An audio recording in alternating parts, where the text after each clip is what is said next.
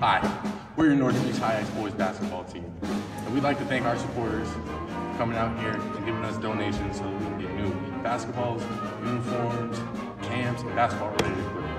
And again, we'd just like to say thank you to everybody who supported us for everything.